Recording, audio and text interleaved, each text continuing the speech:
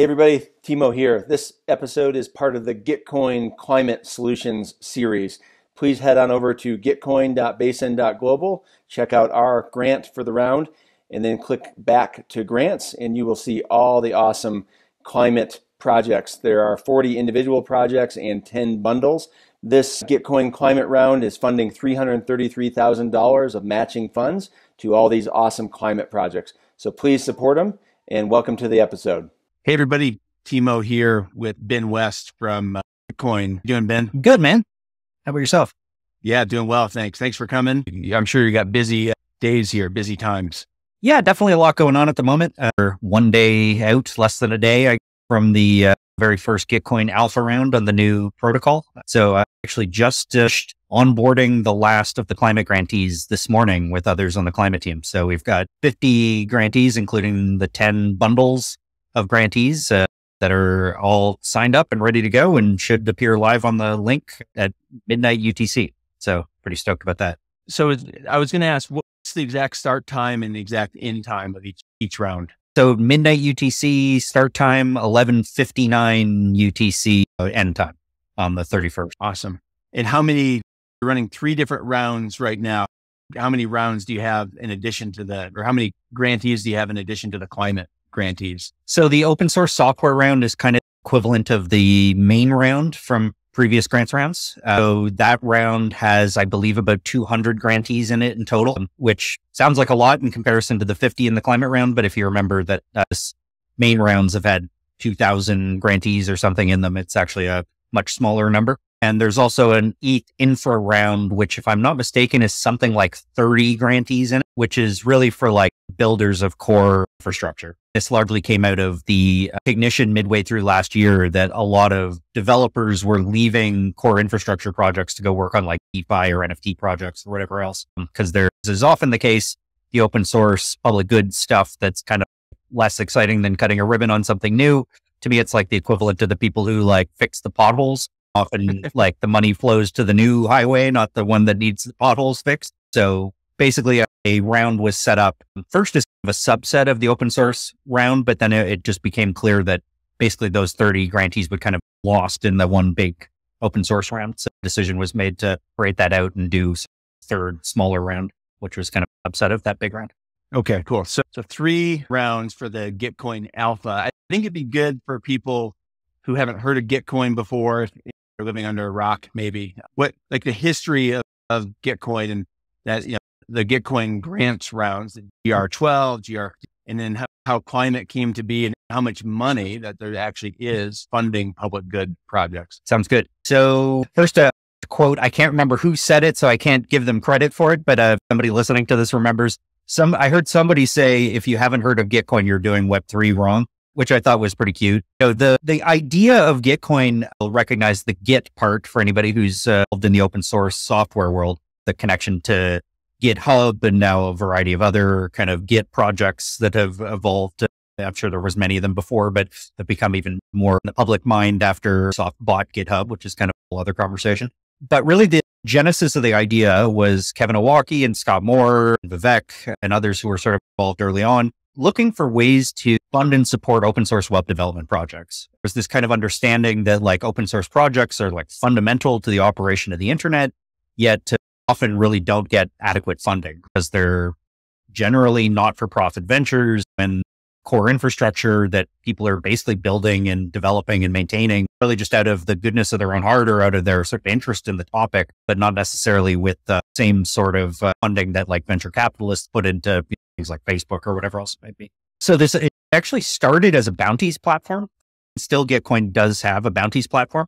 It was largely based on pull requests and facilitated directly through GitHub. But it was like a way to basically reward people either proactively or retroactively for building open source web tools. That idea expanded out to, you know, what eventually now has become this grants platform.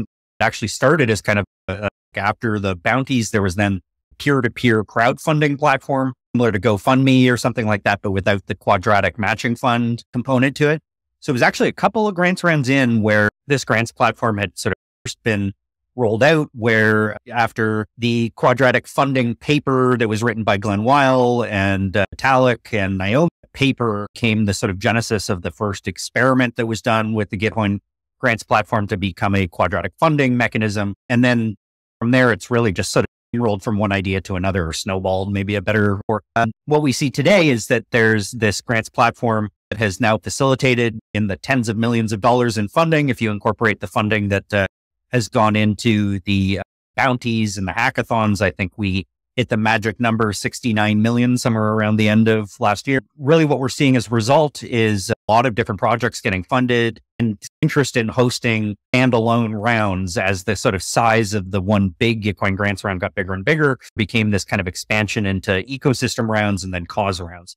So the ecosystem rounds were like Polygon runs around for people building on Polygon or ENS runs around for people building on ENS. And that has continued to grow to the extent where we had 18 rounds, including four cause rounds and one open source kind of main round in the last kind of GR round that we held midway through the last calendar year, about three quarters of the way through the last calendar year.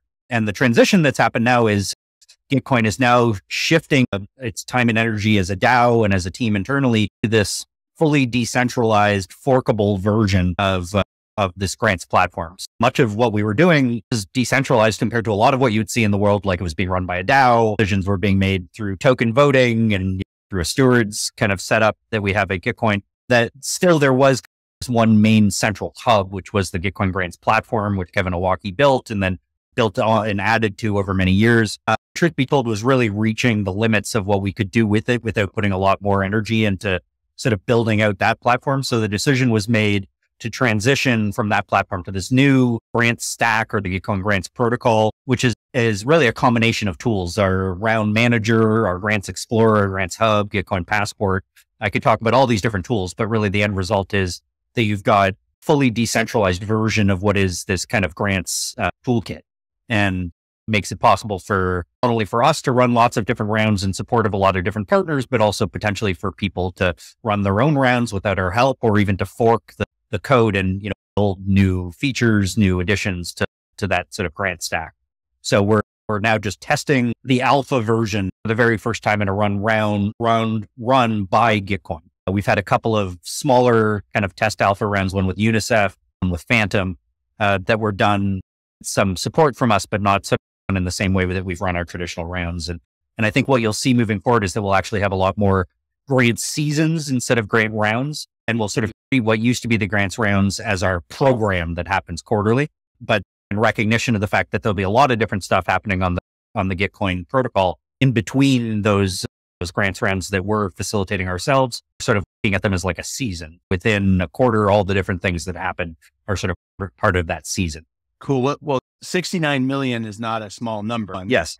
What $1 million for this test round is not yeah, $333,000 for climate the course of two weeks is not a small number. And when you mention UNICEF, I, I think people think that Web3 or crypto is like this kind of alternative or like weird stuff going on. But when, when you mention real dollars, right, in real big organizations like UNICEF, it's like, whoa, yeah. we're, we're, over here doing something real. Yeah, for sure. And you know, one thing that I, people don't sometimes don't understand is it, we're so used to like kind of crypto magic and like money coming out of nowhere that people sometimes assume that like there's just some weird math happening that's where this money is coming from. And the reality is that it's actually money that's being raised from donors. Like we're there's a team at Gitcoin or partnerships team that goes out and raises all that money quarter after quarter. So it's worth pointing out that not all of that money was in grants. Some of that was from bounties or hackathons or other things in that 69 million number. But I think the number is something like 34 million that was given out in grants over the course of uh, still a lot of money. And yep. like to, to put in context, like the money for this upcoming round, a mixture of a whole bunch of different donors. It's worth pointing out that it's just for these three rounds. It's a smaller number than what we've had in previous rounds, but I'm happy that it is a sizable amount and should result in, in some stable ongoing funding for a lot of projects, especially those open source, new projects that are trying to do innovative things yeah, I think sometimes people don't really fully understand that there's like raising that's happening before the money is given away. And really what the quadratic funding mechanism is doing is like empowering the wisdom of the crowd, giving the individual donor the ability to have some say in how that money is distributed. And really what makes quadratic funding magic for those who are not familiar with it is that it gives more weight to individual donors as opposed to whales or like so large influential donors. The traditional matching fund donation, you give $1, maybe it's matched by some other philanthropist.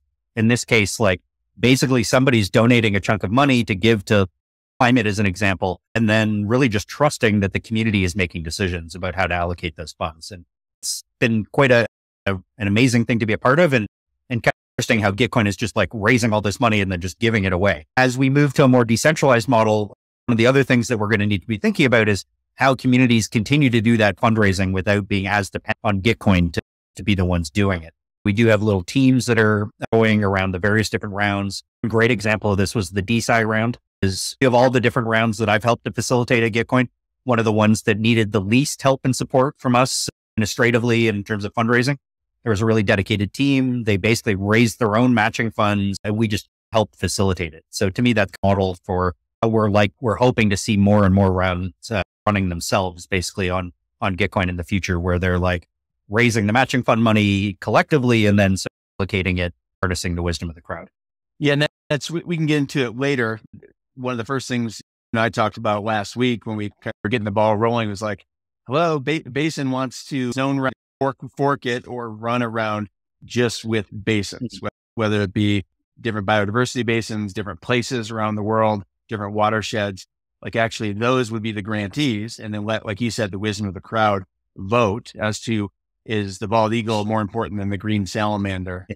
Is the green salamander more important than the Roaring Fork River Basin or the, the Hudson River Basin? And then uh, that those funds quadratically then fund land restoration and conservation in those areas for, for those costs. Yeah, we're, we're over here raising our hands saying we're a perfect use case to fork. Or I was messing around on the website on the just so people know, it's granthubs.gitcoin.co. I don't know if I was supposed to see that link or not, but it said basically create your own round. And I was like, sweet. Like click, and connect your wallet. And I know there's work to be done on it, but it's like, like that, that self-service like idea is just, it's, it's just amazing. Like you said, seasons, it could be ongoing. Yeah. And I, I think uh, you'll see the features continue to evolve. Hopefully people can go in there and play with it already and get a sense of what it's like to create around. and I'm happy to go into like some of the what I at least understand the devs are working on in, in sort of the rollout of the sort of uh, specs and what you will or won't have at your disposal in terms of tools in the stack right now. That like fully people should be thinking about and exploring this now. Like from, from what I've seen, like it does take a little bit of time to raise the money, to organize, to figure out exactly the criteria yeah. for the round, decision making infrastructure, and all that. Like if it is something that you or others are thinking about doing, and I know you are, and I'm stoked to keep talking to you about it For anybody who's listening to this, if you're thinking about running around, no good reason not to start planning it now because there's a lot of things that are inside the tech stack that you need to think through. And one of the reasons why we're running this alpha round is actually to like work on creating basically guides and support documentations for potential round managers, like people running their own rounds, so that we can pass on as much kind of wisdom and insight as we have. And there will be kind of options in the future for like how much support a community would like from Gitcoin, perhaps some sort of a, a fee for service kind of model attached to it. So you want to completely run this independently, that's one thing. If you mm-hmm. need some support, that's another thing. Or like in some cases, people will just want to hire Gitcoin to run around for them. We definitely have seen that with some ecosystem partners where they've got money, but they don't have staff that are dedicated to doing support or running a grants round or the things that come with that. So yeah, it's almost like grants round as a service. Yep. Really. Yep. Totally. Yeah. And I don't think that's going to be like long term, like super lucrative business model for Gitcoin. Like I think the idea is to make ourselves not necessary, but like to also fill the gaps where we can be helpful. And I'm hoping that a whole ecosystem of others who are also offering that kind of support evolves out of this as well. I think we're at the precipice of sort of seeing all the different things that'll emerge from this. And we already see a fair amount of peer support happen and collectives that are created, like say the uh, quadratic friends that grew out of the last uh, DEI round, a group of people collaborating and supporting each other and onboarding people. All that stuff is going to be important on an ongoing. And, and think the less that uh, you become a bottleneck or Gitcoin is kind of like centralized kind of hub that is necessary in the middle of all this, I think the, the more quickly we'll see innovation and stuff coming from, uh, from this uh, transition. Cool. With without going too into the rabbit hole of Web three and crypto, off the top of your head, can you rattle off the ten bundles that are in the you know, or you know, obviously there's forty. I have that list I can pull up here in a minute of the forty climate uh-huh. individual rounds which Basin is in. But then there's 10 bundles just to give people an idea of like, hey, this isn't just like crypto and blockchain and Web3. It's like there's actually real world change happening over here in this world we call Gitcoin grants rounds. Totally. And I'm going to cheat instead of doing it off the top of my head. I just went into Telegram and looked at the 10 different uh, bundle groups that have, that we've set up to help facilitate each of them. So there's an oceans and forest bundle, an agriculture bundle, verification infrastructure bundle, carbon markets, renewable energy, climate research, community engagement, climate advocacy and activism, economies and indigenous communities, and creative works. Really tried to capture sort of the variety of different use cases. And you could break use cases down in a different, in a few different ways. This isn't exactly the same way I've sort of this through for other kind of uh, conversations around different use cases for blockchain tech. Really tried to like look at the end result, like what was the project trying to have an impact on. So, I mean, could make an, argument that like basically all of these are in carbon markets in some way, or basically all of these have some verification infrastructure associated with. So we really tried to break it down in part just to make sure that there was something as close as possible to an even number of groups in all the different bundles so that we didn't have like one bundle of like 50 projects and another with like two projects in it. And a lot of these projects honestly could be in more than one bundle because of sort of they orient themselves. But, you know, for the sake of sort of giving some visibility to the community about the sort of variety of different ways that this technology could be used, and also to give an opportunity for more grantees from the last grants round to be part of this alpha test, given that we were going to limit the total number of slots available. Creating these bundles has been sort of an interesting way to to push that forward and to try to involve as many people as possible. And and honestly, I'm super excited to see what comes out of it. At least one bundle I've heard is forming a DAO already, which is hmm. a, a cool thing to see that was never something we asked people to do, but great to see that people are like taking that, what is coordination, what does cooperation and look like in this space and you know, put a container around it and, and something useful with it. My guess is we'll see a lot of uh, cross pollination and sort of interesting new partnerships evolve from these bundles. Yeah. You mentioned that those tools, like the ETH infrastructure people are building, like you're splitting is, is a, a, tool that people are already starting to, to use in these bundles. And that, for example, the people that come on Basin Live, just like you, and I need Gitcoin's public Ethereum address. If you want to DM me that a little bit, we're going to drip or split. We're going to use zero X splits to, to do 10% of whatever Basin makes to the different guests and the different projects that come on hmm. this cross pollination series we're, you know, doing over the next couple weeks to promote uh, all the different projects and, you know, share each other's audiences and learn more about each other's projects. And like personally, I'm excited. Like right now, we're streaming to YouTube mm-hmm. live. I don't know if the LinkedIn one is is working. It's supposed to be, but we'll we'll see in a minute. But I'm excited to like bring on Web three, non crypto, non blockchain. Like those three words, right? And like it or not, have kind of become a bad word, right? Like in the last few months or the last year. So I think like you rattle off the, those bundles, mm-hmm. right? And you look at like lands and oceans and restoration and conservation and public goods, like it's like we're not just over here speculating and, and arbitraging money and crypto money. It's like we're we're directing funds and resources and talent and energy to real on the ground projects. So like to me, that's one of the big things that is exciting about Gitcoin. Totally. Honestly, like I think the double edged sword of any open source protocol is that anybody can use it. And especially when money's involved, it's going to bring out the worst in people. And I, I think like it, I've actually been about this in, in conversations with friends recently. Like in some ways, what we see happening in Web three says more about humanity than it does about Web three. This is just a set of tools that can be used by people in whatever way they see fit. And what excites me about Gitcoin is that there's a whole bunch of people trying to use these tools in a lot of positive ways. But unfortunately, it just doesn't get nearly as much attention as the like scams and step on fire. And, and of course, no, no big thanks to DX and SBF and you know, all that. That's definitely pushed a bunch of attention in the wrong directions. But somebody's been around the crypto space for a long time. Like it's been cycles of this forever. And like the, the people who need to try to find solutions that are positive ones just keep their heads down and keep working away. I'm really hoping in the year ahead we can like tell more of these stories and really, I feel like we're really just getting to the point where this technology is at a place where people are actually doing really cool stuff with it. It's not just like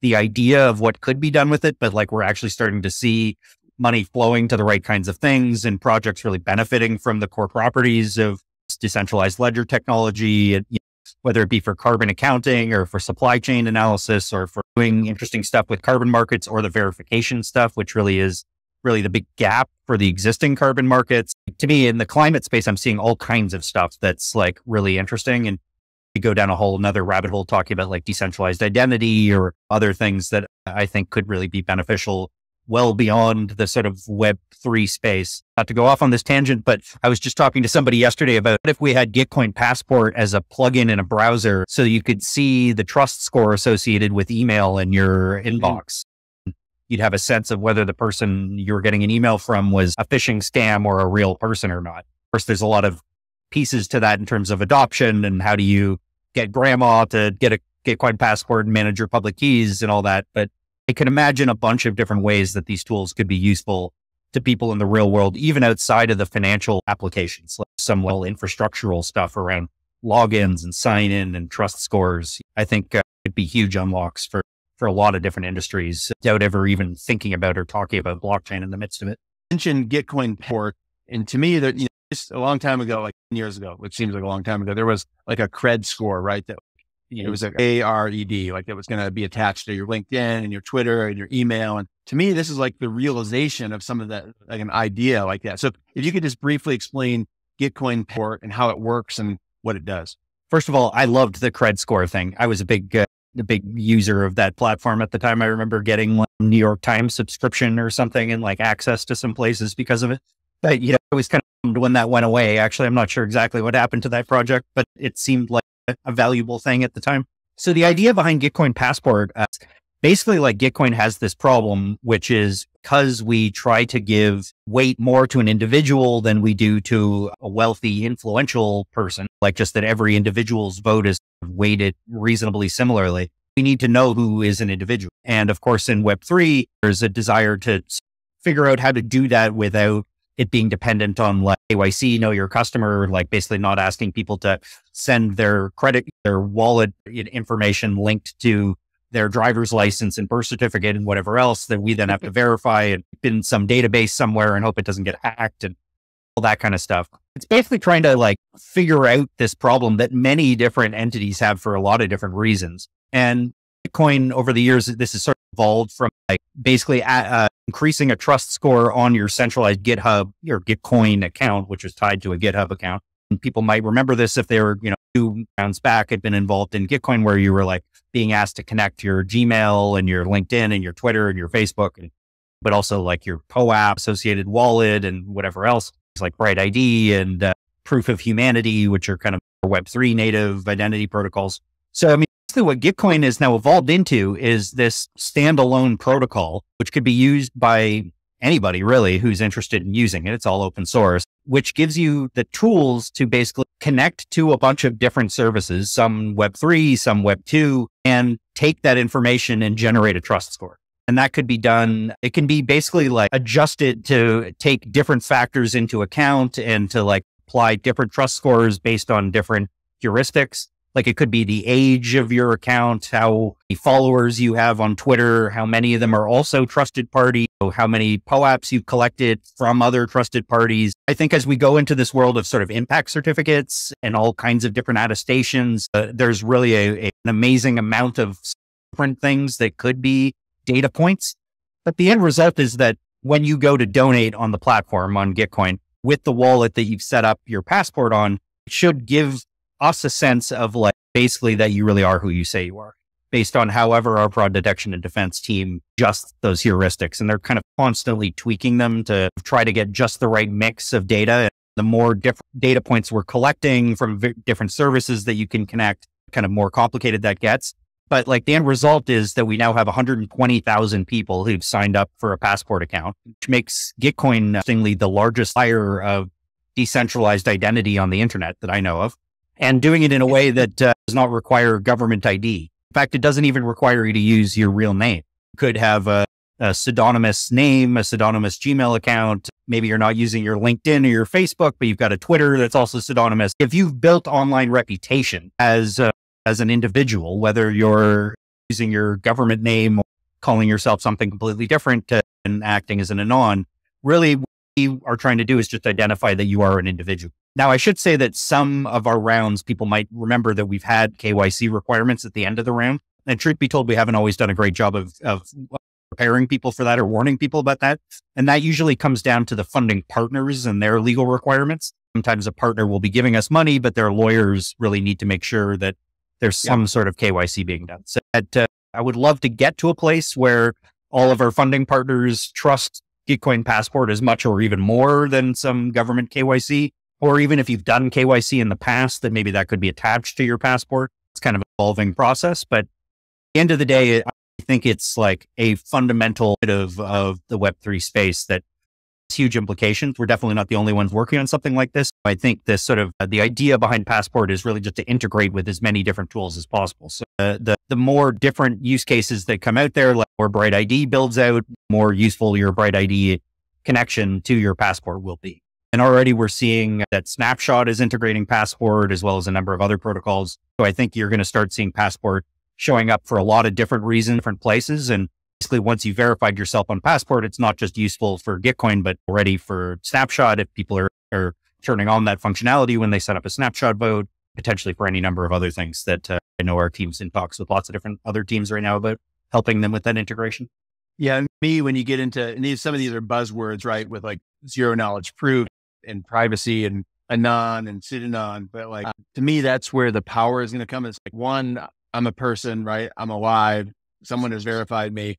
I'm connected to all these different services. And if you want to take it a step further, you need to comply with US or UK or EU or what, you know, the laws are and connect those other five services or whatever that, that they know who, mm-hmm. you know, you are who you, you are. And you, and then you're able to control your identity. That's like the power of it. Like you don't have to just like docs or, you know, that's another slang word, but all your like information out there to everyone, like mm-hmm. you can share depending on the situation, which so there's a lot of powerful unlock. And I, I love the vision, Ben, of like in your email, of like, oh, it's a, you know, Gmail could like literally could be a spam functionality. This is a real person mm-hmm. connected to all these services. Like th- this stuff is going to be mainstream at some point. I'm convinced. Yeah, I really believe so. Uh, in fact, I, I would even go so far as to say that I think Port may actually be kind of a killer app within the Gitcoin ecosystem right now. Like, I think all the pieces are important, but like, I think the implications of Passport actually go well beyond just grants and funding for Web3 projects, but like could potentially be super useful for different important things. And of course, privacy and identity and surveillance are like really big, important topics in our world right now. And like finding solutions that don't require trust of a centralized authority or a government, especially in some countries you know, that are dealing with particularly problematic governments, could be hugely important. I'm very bullish on, on where this could go and what could happen with it. Cool. You, you mentioned earlier when we were kind of dancing around like crypto and blockchain versus like climate and real world action, said scam and you said like on fire, right? That like crypto has gotten like attention because it's in those two categories. It's either right scammy or on fire. But like to me, like, the traditional system is borderline who you know, like cahoots, not quite scammy, but in a way. Yeah. I I would venture to say that like the world is on fire, like mm. literally. Yeah. And it's not crypto. It's not like the attention. So the attention should be at like what's actually happening to the environment, to the the snow and the rainfall and the flooding and the droughts and the migration. And to me, these projects in the bundles, the you know, 40, so there's 10 bundles and then 40 individual climate projects. Like to me, I just really urge people on YouTube and LinkedIn and non crypto, non Web3, non blockchain people to come on over and just check it out. Like the, you know, and Gitcoin is super helpful, inclusive. You guys, your team just bends over backwards basically to like go out of your way to like answer questions that have been asked like 10 times, right? In the last like hour. So like, I just really encourage people if they're there, like in on LinkedIn watching, or you're watching this on YouTube later, like, come and just check it out. Like look at the real world impact, look at the real money, and then look at the teams and the projects web that are the grantees, like real projects with real people doing mangrove re- restoration and carbon removal and plastic pollution cleanup. I mean, just like so many amazing projects out there. So I just really encourage people. Where's the best spot this year? The grantshub.gitcoin.co, or should they just go to the main site? Question. Uh, we're actually just talking about setting up like a short link to make it easier to find the, the Gitcoin climate round in particular We do also have a Notion page that's kind of community hub where we're putting all kinds of stuff like coming events and grant opportunities and the links to the active rounds and things like that, which also has a way too long URL at the moment. So, I mean, I would say if you go to the Gitcoin website, you'll find the links to the active rounds, but still it's very much in alpha. Like we don't have like a really nice, convenient landing page right now that's like, this is the one stop shop to go to. So stay tuned for more on that. But I mean, long story short is if you go to gitcoin.co, you'll find the links and make your way to, to the active pages, including that, uh, that hub page that I just mentioned. And I can always uh, tweet it out as well, just to make sure people have access to it. Okay, great. Mar- Marvel has a really good point here about how to learn how to, I think, one, like setting up wallet, right? If people are over on LinkedIn or YouTube and they haven't done this before, like there's a lot of good resources on the Ethereum website, on MetaMask website. You have to be careful, like learning all that stuff, but watch some YouTube videos. Never give out your private keys. Store your private keys sa- safely. Some really just basic things of people getting into crypto. But like Mar- Marvel said about how how to check out safely without losing all your tokens. So, do you have any tips around like first timers or people trying to do this and get better at it? Good question. Uh, how to check out safely without losing all your crypto? Yes, probably first things first, just like making sure you're on the right website. I haven't seen a, a copy scam version of a Gitcoin round, but I'm sure it will happen at some point. For every NFT minting site, there's usually at least one copy of it that like steals your private keys when you connect to it. So just being careful about like links you're clicking on on social, because you know, you might end up on like some fake version of the website. Like try to make sure that you're going through like the actual links right off the Gitcoin website or you the email you're getting from Gitcoin, or if you're, I would say really just as a general rule for everything in crypto, like just never be in a rush. Every mistake I've ever made in crypto is usually because I was trying to do too many things at once. I was in too much of a rush, didn't take the time to like double check what I was looking at. And we're, I think we're so used to having these kind of middlemen that are reporting that there's always like, oh, I'll just go back and talk to support if something goes wrong or ask somebody else for help. But it's just not always the case in crypto. In fact, more often than not, it's not. And even if there is somebody to help you, you send money to the wrong wallet, it's usually just gone. There's not some way to reverse it unless somebody's nice enough to just send it back to you or something. That could be the most like, nerve wracking thing about crypto is it's like taking on this additional responsibility. I find that like if you're new to it, like the best thing you can do is really just like have a buddy do things together, especially if you've got a buddy who's like been around the space for a little longer and can just kind of hold your hand through some stuff for a lot of the uh, projects that are onboarding a bunch of people into Web3 to support them in Gitcoin, usually what we'll suggest is like hosting a call where you're actually like sharing a screen and walking people through stuff. Even seen some people like help people get their first little bit of DAI, like a transaction directly with a group of people where they're just like, okay, I'll sell you 20 bucks worth of DAI and I'll send, sell you 20 bucks worth of DAI. So somebody doesn't have to go and like set up an exchange account. They can just set up a, a MetaMask have some money and start donating. So I think for a lot of people, the fir- the way they first get involved in crypto is somebody offers to give them some. So like, I think that's like a good place to start if you're onboarding people is just like, just give them a sense of how easy it is to like send and receive a little bit of tokens and then you know, try to send them on the right path in terms of like places where they can find information. That can also be really daunting because there's so much content out there that like even suggesting like somebody I trust or a source that I trust. I really like the Ledger website. I think they've got a lot of really good information about security and like I, am a big fan of using some sort of uh, hardware wallet like a Ledger or a Trezor or other ones. All my open source friends will probably say Treasure Trezor is the way to go because it's an open source project. But I've just had a Ledger since forever, so I'm kind of that ecosystem. But yeah, I mean, just being careful and taking your time. I think is really the key thing. And we have guides and a knowledge base. So like people are having specific questions about the platform or feeling stuck somewhere. There's also support channels in our Discord with really helpful folks and also like the Telegram channels that are set up for the various different rounds. I find a lot of people do peer support for each other. So even if you don't have a Web3 buddy, but you're finding out about this somehow and you're interested, getting yourself into those Telegram groups can be a great way to find answers. Your Gitcoins Discord or the associated Telegram groups with this particular round are pretty great places to just like find other people to help. If, and I would say always better to double check and ask for help if you're not sure about something as opposed to just kind of clicking and trying it. Yeah. And the biggest, I love that. Just being careful, going slow, ha- having a buddy and then ma- making sure you're on the right link. Like you have to be careful for new people if they post MetaMask on Twitter, you're going to get what 12, 15, whatever, 20 bots basically that just say, we are MetaMask support and give us your wallet. We'll help you solve your problems. In Telegram groups, you need to be careful, like which group you're in. Mm-hmm. Is it the right person?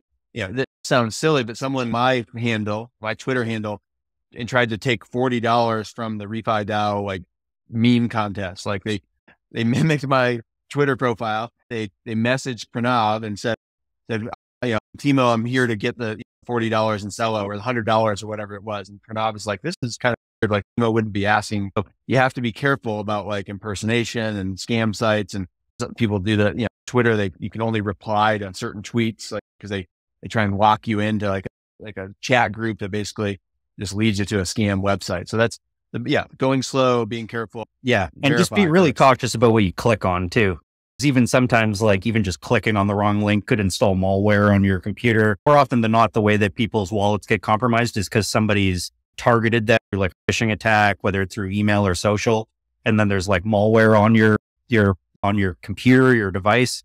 And then when you're going to make your transactions, they're like able to see the information you're putting in. So they get access to your private keys that way. Or even sometimes I've heard stories of somebody's just about to make a transaction and they just switch out the wallet address that you're sending the money to right before you click on the verify thing on your ledger or whatever. Definitely there is a lot of scammers and just like being slow to, and being careful is definitely the way to go. Ben, even, you know, in the real estate business and the title companies will not send a wire today unless you talk to them and verify their, your wire instructions, which slows stuff down, but you, you have to, you have to verify. I mean, so this isn't just a crypto. Hundred percent. It's happening in, in the real world. The meat also. space. I often remind people of this when they talk about the number of scams. I'm like, look at your text messages. How many phishing attacks did you just get on your cell phone via text? How many are in your junk mailbox? There's probably dozens of them. Yeah. Some of them make it into your inbox. Like some of them manage to get through the junk mail filters and, and end up in front of you. I'll get phone calls from fake scams all the time. Like like the amount of scamming and like the number of websites that have uh, compromised. I would say like there is a crisis of security happening on the internet just in general. If anything, I think crypto has more of the solutions to it than the problems. It just takes some additional responsibility and some awareness and understanding of how to use the new tools, which is challenging because there's a lot of people out there who really just like don't have the mental bandwidth or the time and energy to even really think about that. So I think for us, it's like, how do we make those user experiences as easy as possible so that we can like keep people safe and actually be the solution to the problem instead of the cause of it? Yeah. You said responsibility or you know, comes to mind as like sovereign individual taking responsibility for your own like wallet, your own actions and not, not re- relying on a third party who, you know, may not be on your, your side or not to just getting rid of some of those intermediaries and in trustless environment and just taking that own personal responsibility. So this has been great. I, I really appreciate you coming by Basin Live here and answering the questions. That so three hundred thirty-three thousand dollars and what sixty-nine cents or twenty-seven cents? Fifty-six for, uh, cents for two of the rounds, fifty-seven cents for the other one. So in total, it adds up to uh, one million dollars and sixty-nine cents. Okay, I cool. must admit, I was the one doing the math on my calculator to make sure we set that up exactly right. And that is just matching funds. That does right. not include what people are going to donate just in general. Yeah. In fact, during the round, you won't even see the matching funds. You're just going to see the how much is donated by individuals, and the matching funds will be at the end of the round. Just given the alpha round, you're uh, that's unfortunately one of the functionality pieces from the previous experience that has not made its way into the alpha product yet. So you'll see a bunch of money coming in. We'll be talking about it. There's, there'll be a Dune Analytics dashboard where you can see all the totals, but many of our past rounds, much of that funding has been raised, sometimes even matching the amount that was, was donated by matching funders. So it's a, a neat way to uh, vote with your wallet. You don't have to have a lot of money to vote and to have a big influence, but uh, all those individual donations add up to pretty large sums of money for individuals out there trying to raise money for their project. So it's real. I mean, I can attest the testimonial for Gitcoin. I mean, since uh, GR12 or whatever it was, December 2021, I basically phased out of my career for 15, 20 years. What, you know, I'm still doing it a little bit on the side, but Gitcoin has been instrumental in kind of moving Basin forward and being able to rely on that quarterly funding stream and just in the community, the number of people I've met, the amazing projects we've spoken to that we're collaborating with, attest that it's it's real money, it's real impact. So so Ben, kudos to you and the team and Colleen and Kevin and Scott, the previous people that were there. Just it's really great, and I hope, yeah, with this push like on LinkedIn and YouTube that we're trying to do, we'll get some more people like from the carbon removal space and the nature financing space, nature investment space, like biodiversity is a big thing with COP15 that just happened coming over to Gitcoin for the next next round and maybe maybe the grantees. Absolutely. Yeah, and I love hearing that testimonial. Thank you for sharing that and I'll I'll make sure to pass on this link to our marketing folks because they're always looking for those uh, testimonials. But you know, it, uh, it's honestly a privilege and an honor to support projects like yours, and I love hearing about the success stories. So thanks for making the time to bring some more awareness to Gitcoin and uh, spread the good word. Thank you, sir. Cool. Well, thanks for coming. We'll see you over the next two weeks. Gitcoin Alpha round runs tomorrow, January 17th through the end of January, January 31st. Head on over to gitcoin.co to, to get going, to start it up, ask questions, join the Discord, follow them on Twitter.